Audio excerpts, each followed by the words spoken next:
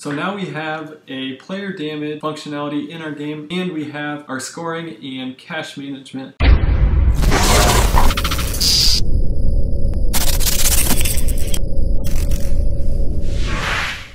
Hey guys, welcome back to another Big Rook Games tutorial.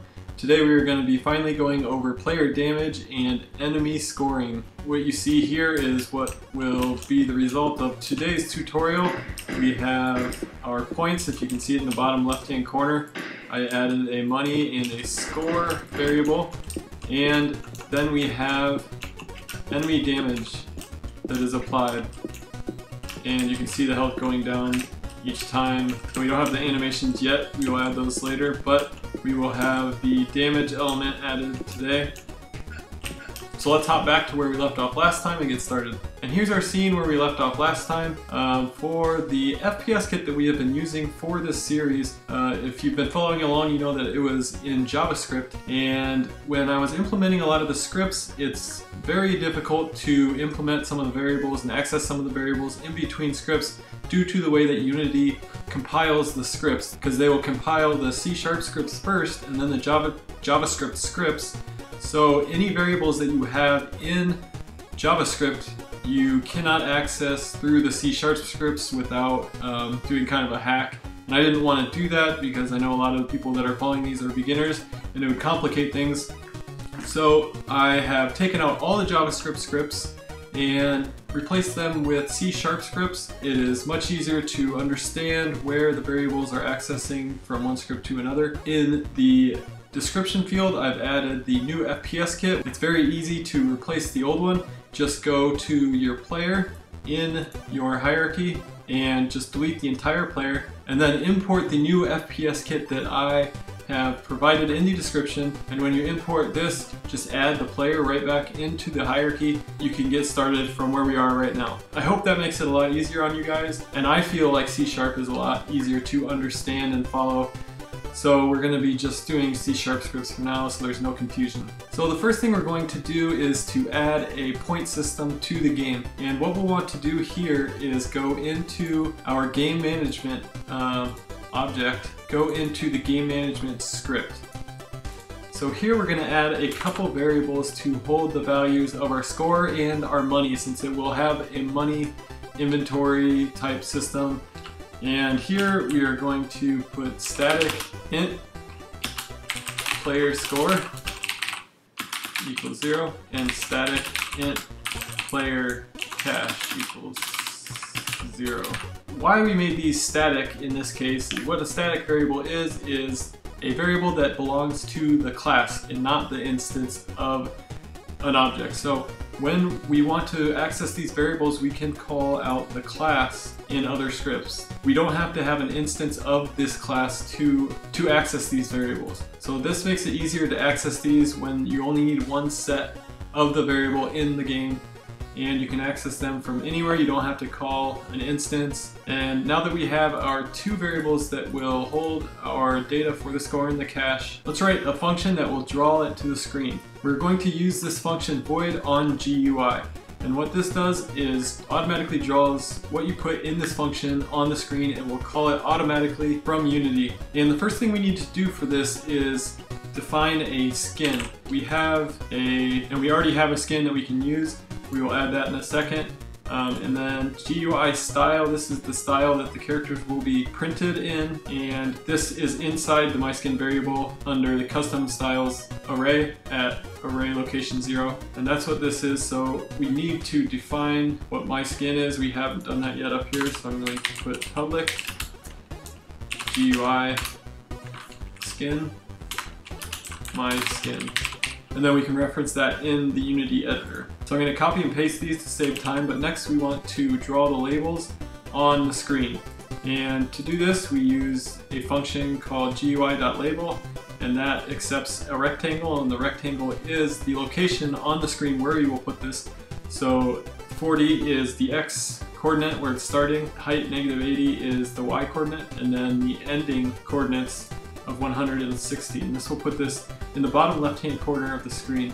And we have score, and then after that we want to put the player score that we defined up here into that as well. So it shows our score in real time. And then we'll do the same for our cash. I just put a dollar sign, player cash. And up here, I forgot to capitalize the S. And next we'll want to create a function that we can access to add points to our player score and player cash. So I'm going to make a public function here, public void add points. And I'm going to give it a value that we can put through the function. So here we are going to add player score plus equals point value and the same for player cash. And the difference between player score and player cash will be the cash will subtract when you buy weapons off the wall and the score will stay the same throughout the entire game. And because we want to access this function through the class and not through an instance, we will put public static here for the same reason that we put static in front of the other variables. So go back to your scene, and in the game management, under the game management script, we have the my skin. We need to tell it which GUI skin to use. There should only be one in the project, double click that. And now when we press play, it should show up on the screen in the bottom left hand corner. So now we have money and score. And next we need to tell it how to increment those when we get hits and kills. So open up your enemy controller script, which will be on the zombie prefab. You can click on the script and it'll automatically open. And we want to tell it to add a score when it gets hit. So down in the apply damage function, we want to tell it to add points. So first I'm going to define a variable that has the value of the points. Point value. I'm gonna give it 10. So now when we apply damage to the enemy, we want to give the player points. And we don't want the player to get points if the enemy is dead or on the floor and you shoot it because it'll still do a blood effect and this will be called, but we want to do it inside of this if function which says if it is not dead yet, then let's access the static variable that we created. You can just type game management dot add points and point value. So this will send the point value over to the game management script and add points to our static variables. So now if we press play and go into our scene, we should get points when we hit an enemy. So you can see our points went up to 30 and our cash went up to 30. So now that we have the points working, we can add player damage from the enemies. And to do that, first we are going to calculate how far the enemy is away from the player so we can tell it when to start thinking about attacking because we will have a animation that plays for the attack and we want the damage to be applied when um, the animation hits the player or when it appears to hit the player. So we're going to set a timer for the attack and apply the damage when it's close to the player for a certain period of time. And inside the update function where we have the if statement, if alive or if not is dead, we are going to calculate the distance and that can be done by using the vector3.distance function and the two points we are going to use are transform dot position, that is the position of the enemy, and the player position. And that will return a float value. So I'm going to put a variable up here, public float time to attack. And here I am going to put if distance is less than 3, we are going to start our attack timer and we will increment this by the time.delta time. And then I'm going to add an else if attack timer is greater than zero. We are going to decrease the attack timer by twice the speed that it increases in. And what this does is if we are outside of the range of 3, then we are going to decrease the attack timer until it is below 0 and then set it equal to 0 to reset the attack timer because we'll want to reset it if we run away and they come back. And that will take care of our timer. So we need to tell it when to apply damage to the player. And to do that, I am going to create a function, void attack. And here we will have an if statement. If attack timer is greater than time to attack, then we are going to apply damage.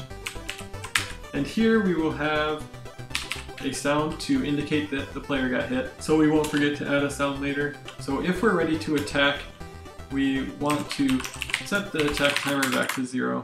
So next, I am going to add a function that tells us when the collision of the enemy and the player occurs, and this function is called onCollisionStay. And this will be called every frame that the collider of the enemy and the collider of the player are interacting with each other.